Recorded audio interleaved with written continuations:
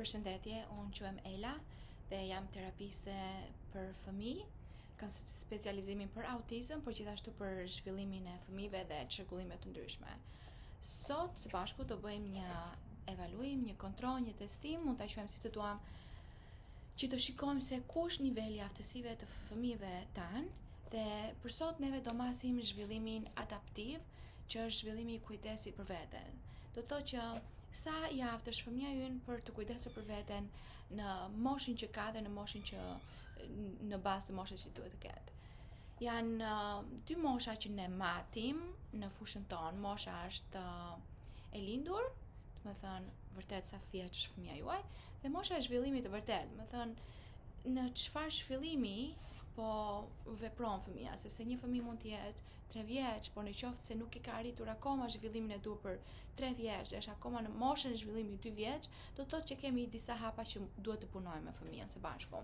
Pa punuar, do shpjegoj pak se si do funksionojë. Um, kam nevojë për ju vetëm që të merrni një fletore, një stilolaps dhe të mbani shënim, dua të shkruani numrin 1 edhe në qoftë se përgjigja e pyetjes sime është po ose në qoftë se është jo. Kështu që do duket si njëshi po, dy po, tre po, katër po, pesë jo, gjashtë po. Dhe kur të bëni katër jo, rresht, domethënë, në qoftë se pyetja e 20, 21, 22 dhe 23 është uh, jo, thjesht ndaloni dhe numëroni se sa keni po në fund. Dhe shkoni pranë tek TikToku im, tek uh, videoja që kam folur për testin adaptiv dhe më lini në koment çfarë numri patët dhe do ju jap rezultatin që çfarë zhvillimi ka fëmija. Ok, duhet të keni parasysh që ky test fillon në moshën e fëmijëve që janë të porsalindur, domethënë 0 vjeç, dhe në qoftë se fëmija juaj i ka bërë këto, e ka kaluar këtë fazë, thjesht quajeni po dhe vazhdoni me pyetjet më poshtë, dhe mos mendoni që çfarë, po fëmija im është katër vjeç, Ç'është kjo pyetje për e mban dot qafën lart apo jo? Ë, kështu që duhet të keni parasysh që kjo fillon që në moshën 0 vjeç i ka bërë fëmija juaj këto gjëra, po apo jo dhe vazhdoni. Pyetja 1. Kur fëmija ka uri, është i uritur ose ka etje dhe shikon një shishe biberon ose shikon gjoksin e nënës, a tregon entuziazëm ose tregon që mezi po pret që të hajë apo të pijë, ndoshta shikon me sy ty pa ndërprerje, ndoshta sjell duar tek ju, po apo jo, ose thjesht tregon nënvlerësim nuk intereson fare. Në qoftë se nuk shprehet me anën e fytyrës apo gjesteve, përgjigja është jo. Në qoftë se ju jep pak ndjesi që ai e di çfarë po vjen, përgjigja është po. Pyetja e dytë. A është në gjendje fëmija që të çojë duart rreth biberonit kur pi qumësht, nuk është e nevojshme që ta mbajë, domethënë ta mbështesë këtë gjë, mjafton të bëjë veprimin edhe sikurse të jeni ju që po e ushqeni me biberon. Në qoftë se fëmija është në gji, a e çon njërën dorë te gjiri juaj, si nënë, ose te gjiri i nënës qoftë se ju jeni babai? Pyetja e tretë. A përpiqet fëmija që të marrë objekte që janë Afër, por që duhet të lëvizë pak duar që t'i arrijë. Pyetja e katërt. A ndryshon fëmija pozicione që të shkojë dhe të marrë një objekt që nuk e arrin dot? Domethënë, në qoftë se fëmija është ulur këtu dhe thjesht zgjat dorën, nuk duhet ta arrijë, duhet që vërtet të lëvizë pak që të marrë këtë objekt. Pyetja e pestë. A është në gjendje fëmija që të marrë një objekt ose një lodër që ka rënë nga duart e tyre në tokë? Pyetja e gjashtë. A mund të pijë fëmija nga një gotë e vogël e hapur? Në qoftë se ju e mbani gotën, nuk është e thënë që fëmija ta pijë vetë, por është në gjendje të pijë dhe të gëlltisë në atë mënyrë apo pi vetëm me biberon. Në qoftë se pi vetëm me biberon, përgjigja është jo. Në qoftë se është në gjendje të pijë, në qoftë se ju e mbani gotën, përgjigja është po. Pyetja 7. A kërkon fëmija dhe është në gjendje të gjejë dhe të marrë një lodër që është vetëm si 50 cm larg Dhe është e mbuluar me batanije, domethënë në qoftë se ju merrni një kukull të vogël dhe e mbuloni me një pecetë apo batanije çfarë keni afër dhe fëmija ju shikon juve. Por duhet të shkojë atje që ta gjejë, a është në gjendje apo jo, provojeni këtë. Në qoftë se fëmija ju shikon juve dhe prapë shkon në vend të gabuar nuk e ka idenë çë po ndodh përgjigja është jo. Kjo ishte pyetja 7. Pyetja e tetë. Okej? Okay? A është në gjendje fëmija që të ndihmojë kur vishet, domethënë, në qoftë se ju po i vishni bluzë, a i zgjat duart fëmija, kur i vishni mëngët, ose a i zgjat këmbët fëmija, kur i vishni këpucët, po ose jo. Pyetja nëntë, a heq fëmija këpucët ose çorapet, vetë, pa ndihmë. Mund ju mund të keni liruar lidhëset ose heq çdo gjë, gati që fëmija thjesht duhet t'i heqë këpucët. Edhe kjo duhet të jetë në formën e zhveshjes, jo thjesht si lojë për fëmijën. Pyetja e 10. Kështu që tashmë jemi te pyetja e 10, në qoftë se nuk mbani mend. A pi fëmija nga një gotë e vogël pa ndihmë. Me thënë, ju nuk jeni ata që e mbani, tashmë fëmija duhet të mbajë vetë gotën dhe të pijë. Po, apo jo? Pyetja e njëmbëdhjetë, A, më fal, për pyetjën e dhjetë, s'ka gjë në qoftë se e derdh pak herë pas here fëmija, mjafton që shumica të vejë në gojën e fëmijës. Pyetja 11 është, a përdor fëmija një lugë për të ngrënë? Pa ndihmë dhe vetëm me pak derdhje, me pak uh, që nuk bën një lëmsh të madh. Pyetja e 12, a përdor fëmija një pirun për të ngrënë ushqime? Uh, kur, kur, kur është një pirun aty afër? S'ka gjë në qoftë se preferon lugën, por duhet të jetë në gjendje të dijë ta përdorë, se si të ngulë pirunin në ushqime dhe të hajë. Pyetja e 13, a është në gjendje fëmija të bëjë të paktën dy nga këto nga këto 5 gjëra që unë do them. Pulla, pulla të mëdha, është në gjendje t'i hapi,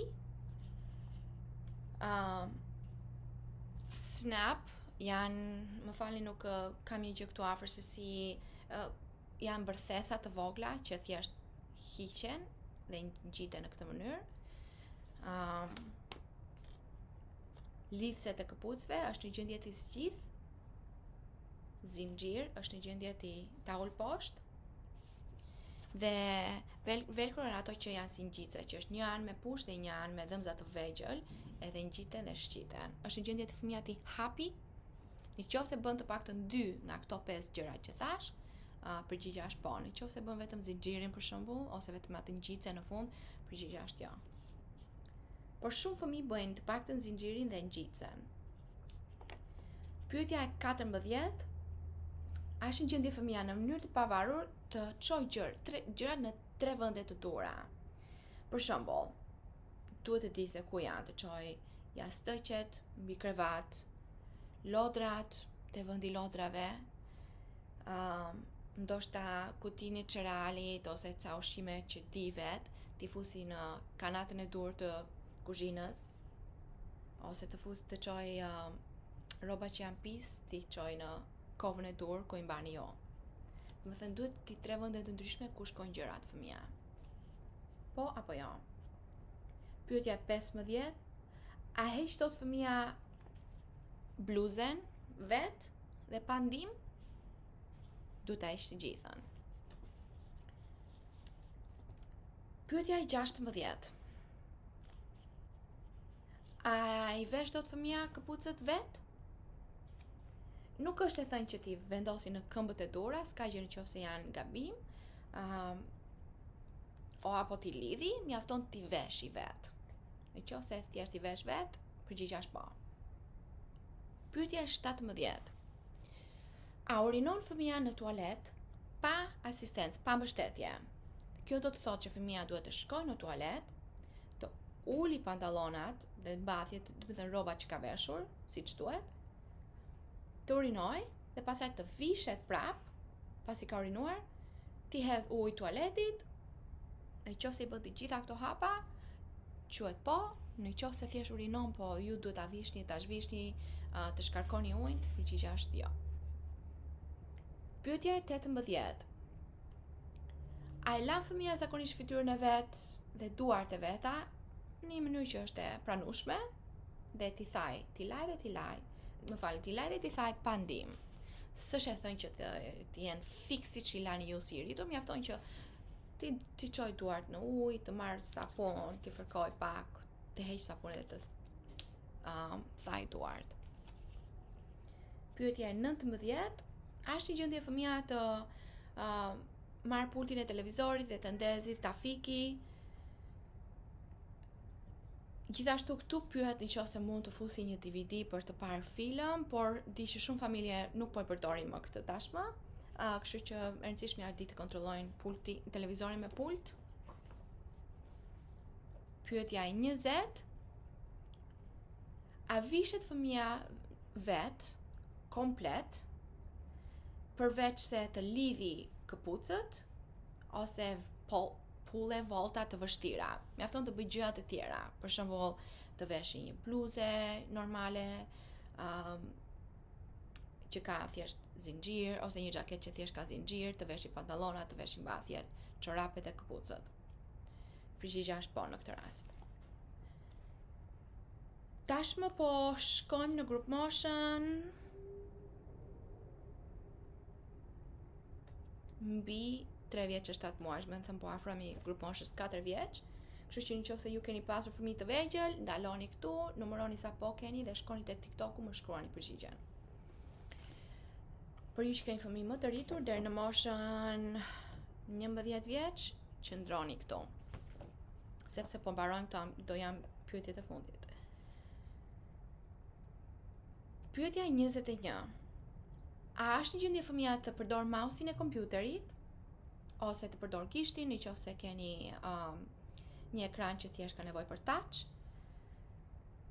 Që të klikojë në objektin e duhur në ekran.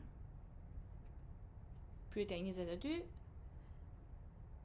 A është në gjendje fëmija të kujdeset për uh, higjienën e banjos vetë? pa nevojë për për uh, mbështetje. Kjo do të thotë që duhet të zhvishet, kur mbaron punë me nevojën e trashë, duhet të dijë të lahet ose të fshihet me letër higjienike, varet nga preferenca familjare. Um, edhe të vishet prapë. Pyetja 23.